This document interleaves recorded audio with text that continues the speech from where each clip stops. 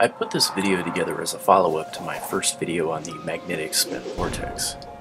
This video is partly a video response to the many comments I received from the first video, and partly a more detailed description of what the magnetic spin vortex is and how it works. In part 1 I talked about what the magnetic spin vortex was, what it's not, and I covered how spin is a commonality in nature. I was asked by several people who commented on part 1 what the growth rings of a tree had to do with the magnetic spin vortex. Nothing. I use them as an example of spin in nature because to spin is to rotate in a circular pattern. I was referring to how age rings physically look, circles within circles, not the growth process of how they're made. If you ask the question though, you miss the broader point. I was simply pointing out that many things in nature exhibit spinning or rotating patterns. From a microscopic scale to a cosmological scale, many objects in nature rotate, exhibit spin patterns, or, in the case of the tree rings, are simply composed of concentric circles that resemble rotation and spin. The Sun and planets in our solar system orbit around the center mass of the solar system. Age rings resemble the paths planets make if you trace their orbital or rotary patterns. Perhaps it's not as obvious of an example, so forgive me for the confusion. But the broader point was simply rotation and spin, regardless of the forces involved, are present everywhere. So if you see rotation and spin through nature, is it really a stretch to think that a magnetic field would exhibit a spin pattern as well? Many people asked me what evidence there was of a spin vortex, so I'm going to provide more examples in this video. I'll cite some of my sources and attempt to demonstrate it more clearly. When I began to research permanent magnet motive force systems, it became immediately apparent that I wasn't going to find enough information on the subject to satisfy me in most college classrooms. That's not to insult anyone's favorite university, it's simply not an area that most physics classes delve into or believe is even possible for that matter. I once discussed the concept with a physics professor from Cal State, so I speak from experience. I've had to delve a little deeper my research led me to the work of people like Nikola Tesla, Michael Faraday, and eventually Howard Johnson.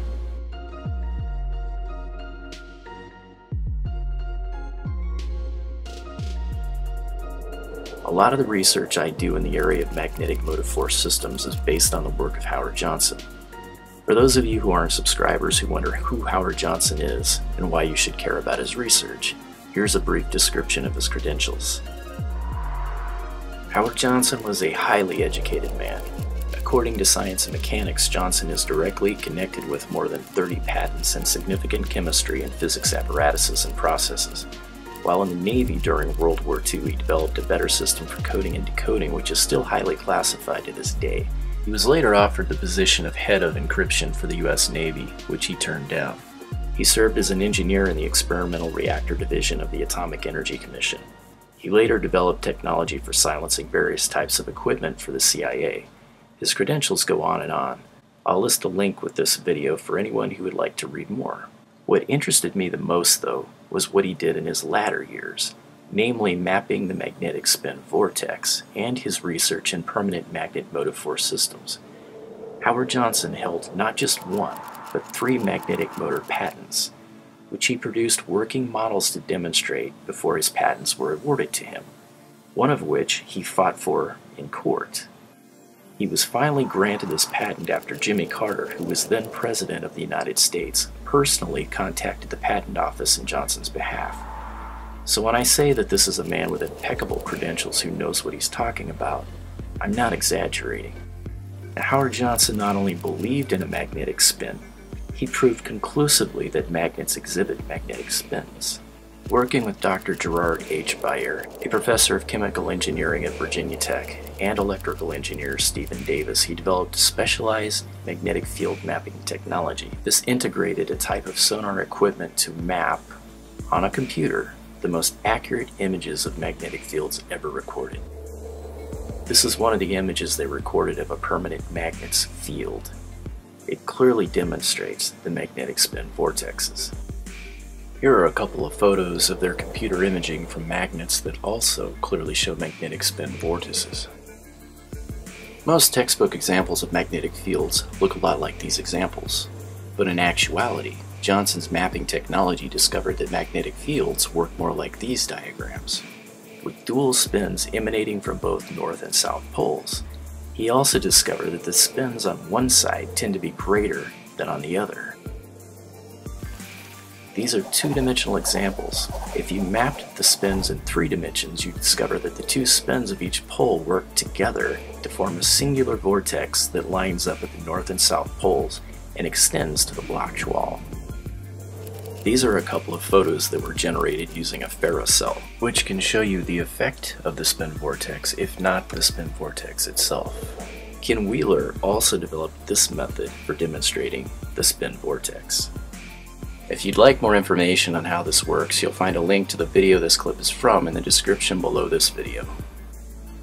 With a large enough neodymium magnet, you can demonstrate the spin vortex as well. By dropping a small round piece of metal toward the center of the magnet, you'll notice it's drawn slightly away from the center. This effect is similar to what happens in a hurricane. The eye of the storm is relatively calm, but as soon as you move out of the eye, the full strength of the storm can be felt. This is why my favorite definition of a vortex is a mass of air or water that spins around extremely fast and pulls objects into its empty center. A magnetic vortex is essentially doing the same thing, drawing magnetic materials directly toward its empty center. I was asked by some people in the comments to part 1 why iron filings don't move when you place them around a magnet if there is a magnetic spin vortex. Iron filings are ferromagnetic, so once they're caught in a magnetic field, their electrons become aligned, and they're effectively locked in place. They show the effect of the magnetic field, but not the actual shape. It's like changing the liquid state of H2O when you drop its core temperature below 0 Celsius. It becomes ice. It's in a fixed state until you heat it or crack it apart. Here's another way of demonstrating the magnetic spin vortexes of a permanent magnet. This is a magnetic gate based on one of Howard Johnson's designs. Before I demonstrate it, let me show you how it's put together and how it actually works. In Johnson's original design, the back of this gate is a rubber ring magnet which attaches to the back of the square-shaped arrangement of magnets, preferably composed of ferrite or ceramic. For this demonstration, I used ceramic block magnets for both portions of the gate. The two assemblies are positioned this way. Here's a cross-sectional view. Placing the two magnetic structures together alters their electron spin patterns. It effectively shorts out the spins on the back of the square arrangement of magnets and the side of the ring magnet facing the square magnetic arrangement. The south spins from the back of the square arrangement of magnets go directly into the north face of the ring magnet since the back spins are not going in the same direction as the leading north spins of the curved magnet, the repulsion between them is nullified. The spins of the gate are in the opposite direction as the lead north spins of the arced magnet, so the two north poles actually attract each other. This is what drives the curved magnet right through the gate. Here's a replication of the design that I put together. You can see the arced arrangement of magnets on the cart is attracted to the gate. As soon as I release it, it's attracted into the gate and expelled out the other side. As you can see, all the magnets are arranged the same way they are shown in the diagram.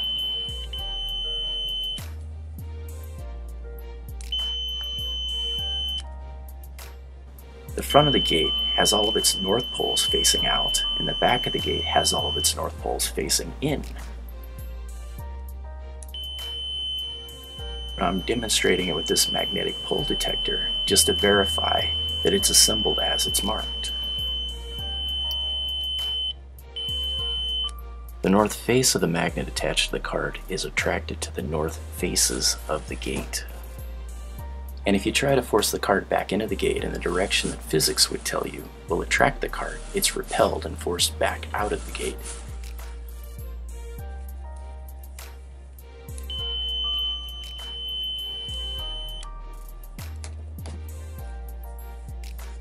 As you can see, the cart is repelled when you place a magnet's north pole in its path.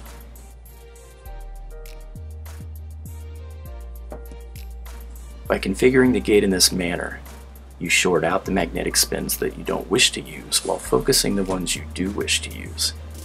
In a larger scale, this configuration can be used to produce work.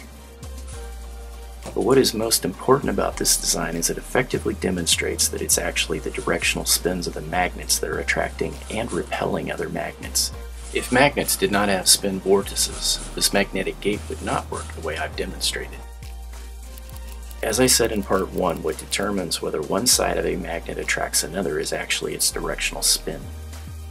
Opposite directional vortex spins will attract, while like directional vortex spins will repel. What we think of as north and south poles are really clockwise or counterclockwise vortex spins emitted by the magnet. I received over 700 comments in part 1 of the magnetic spin vortex. These are some of the less favorable ones. Many of the comments I received were positive and the feedback is about 84% thumbs up, but there were still quite a few negative comments. I put this video together to respond as well as expand upon and clarify the information I shared in part 1. There were quite a few highly educated people who commented on part 1 that were completely unfamiliar with some of the information I covered. That's why I shared some of my source material in this video. As I said earlier, you're probably not going to learn about the magnetic spin vortex in entry-level physics in your local college. Unless your professor is familiar with Howard Johnson's work or read Ken Wheeler's book Uncovering the Missing Secrets of Magnetism. Hopefully this video will answer and address some of the questions and comments I received. Other than that, my only response to the comments is to say, thank you. Thanks for the positive comments and the negative ones, and I mean that sincerely.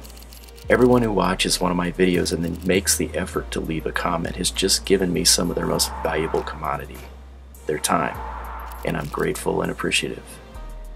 This video is me giving back some of my time to further detail and explain the subject matter. As always, thanks for watching, and do great things.